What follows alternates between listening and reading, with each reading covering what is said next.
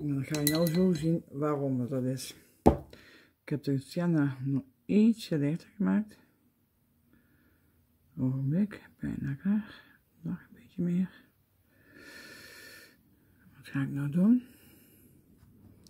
Ik zet hier lichte streep langs.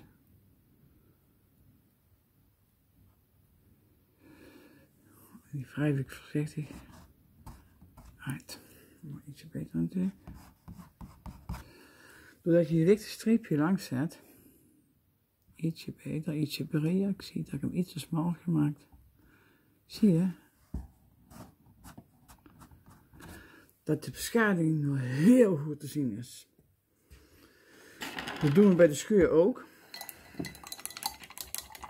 Maar volgens mij van de rotsen van Bretagne weet je nou heel goed waar die donkere kleur moet komen.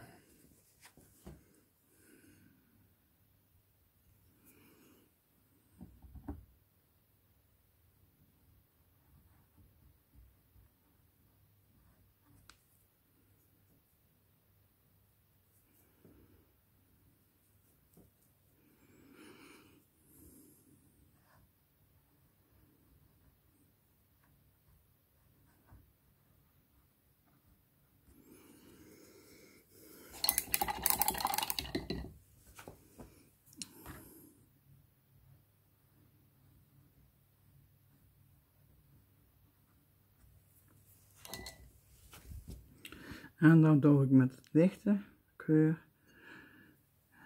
Zou jij denken helemaal? Nee, niet helemaal. Je doet hem alleen daar. Dan wrijf je hem uit.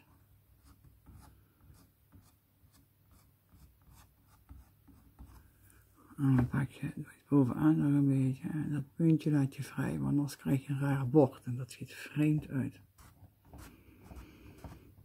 En voilà. Jeugdbeschadigde steen is in principe klaar. Uiteraard moeten er nog vlekken op, maar dat weet je zelf ook wel.